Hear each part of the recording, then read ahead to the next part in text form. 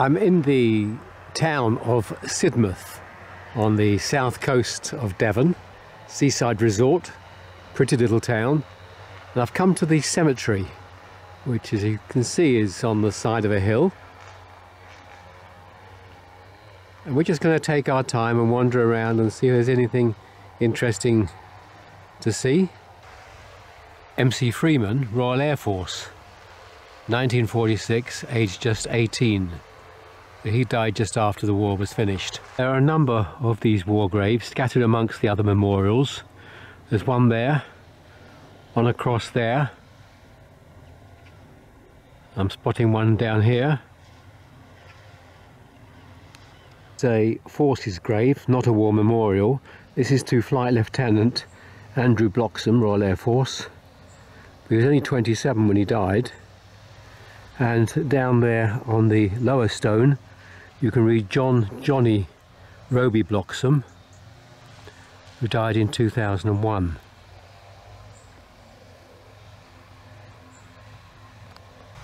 This one is to DC Channing. He was a seaman on HM trawler Ormonde, just age 19 in 1941. There's a stone here in the shape of a shield, just a little different style from the stonemason. One behind it is an interesting design as well. You've got the two doves with the leaves in their beaks and they're all cast out of one piece of stone here on the top of this cross. And one nearby has this cross with the leaves raised out of it in a sort of relief. Something a little different here. These are the war graves, CWGC war graves, but these are in black stone or dark grey stone, like a slate. The front one is to J.W. Ramsden of the King's Royal Rifle Corps. Behind is particularly interesting. Two sailors of the Great War. Chief Steward Ching Ling, SS Kendal Castle, 1918. Doesn't name the second one, or maybe it's two sailors plus Jingling, unknown seaman, mercantile marine, they're known unto God. One more of these in the dark slate coloured stone. This is Private L. Wig of the Royal Fusiliers, 1920, age 25. And on the bottom is the words, good night, but not farewell. Now that would be an inscription that the relatives paid a little extra for. The memorial would have been put up uh, free of charge, but you paid to have the inscription on the bottom of the stone. One here, that's a simple wooden cross. Very worn now, been there for a lot of years. There seems to be a little plaque at the base there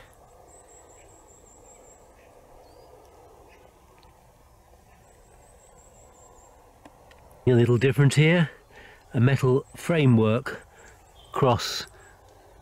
And this is uh, for somebody who died in 1989. A larger stone than uh, most of the others. And it has a crest at the top, presumably the family coat of arms.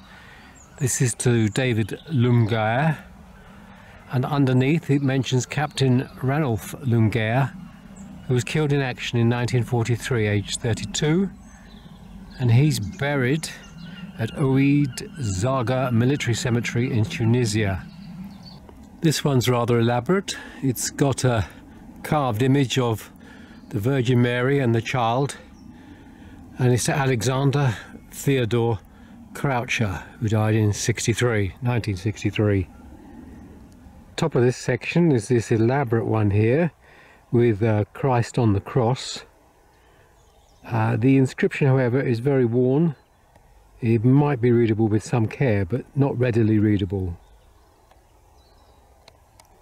Another design here with this square column with a sort of stocky, stumpy cross on top and the plaques on each side giving details of the people remembered. Got a large uh, memorial here, a tomb here, to the uh, Morrison family, who appear to have spent a lot of time in Pe Peking, in China.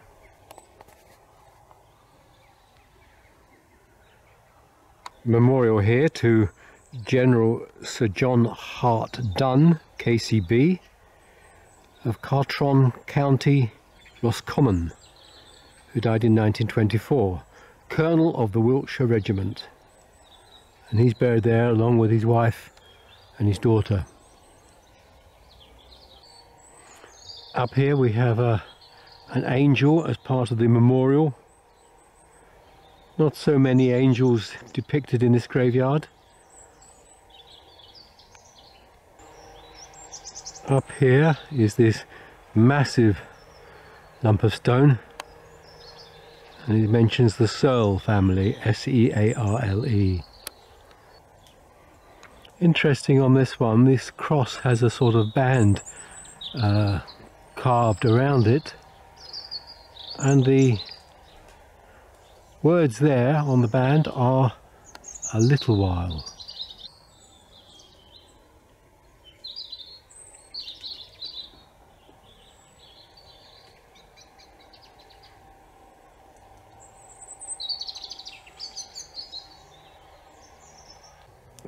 One here in a white marble finish and what caught my eye was the uh, Christian name at the bottom here.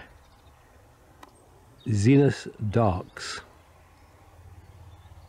This one with some local details. If you're a local person this would mean something to you.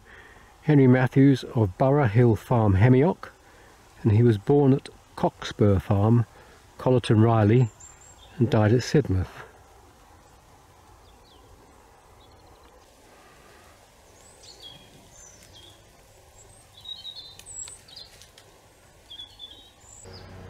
Further up the hill there is the Garden of Remembrance.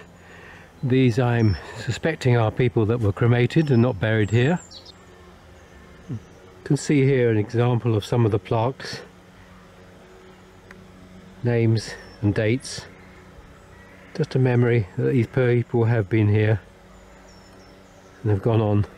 Further up the hill we have another section which is an area which is still currently being used.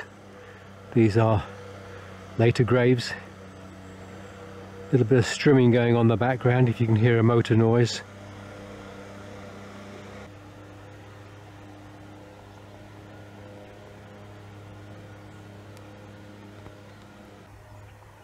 As you will have gathered, the graveyard is on the side of a hill. And I'm looking down the graveyard now. We started at the very bottom.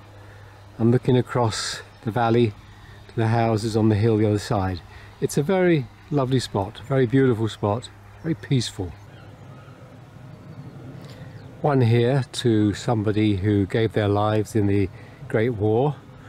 This is Sergeant Richard Channings and if you look at the inscription at the bottom here who passed away 1917 at the Croydon Military War Hospital after 10 months of illness, aged 35 years.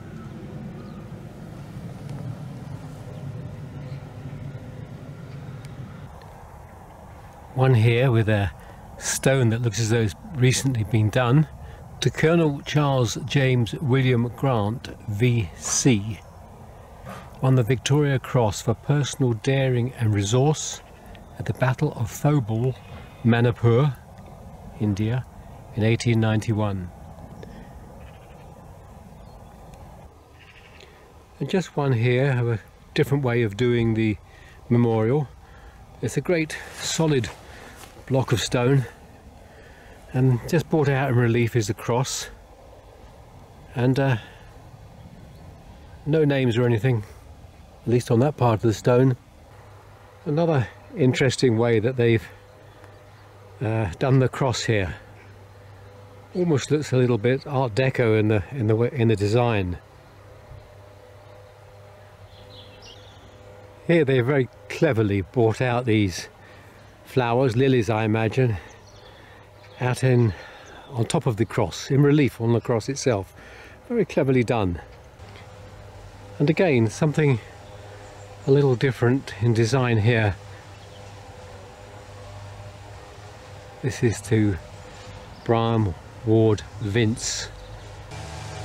And here we have a statue of this lady possibly an angel. It doesn't have wings, but angels don't have to have wings. And as always, they leave the foot coming out the bottom of the gown. This one here has the cross and the metal statue of Jesus hanging from it. It's nice to see it still there. So many of these metal memorials get vandalized, get removed. This one's still complete. This is to the Delaney family. I'm going to call that a, a day. A very pleasant spot. A lovely graveyard. The stones are well kept. The grass is long, but we don't mind that. Not overgrown anywhere. And uh, just a very peaceful spot in the very pretty, very beautiful town of Sidmouth. Thoroughly recommend a visit here.